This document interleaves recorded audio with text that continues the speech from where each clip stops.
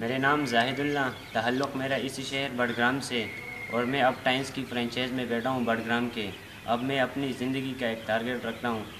जब मैं अभी थ्री स्टार हूँ, और इन यकम जून तक मैं फाइव स्टार बनूँगा।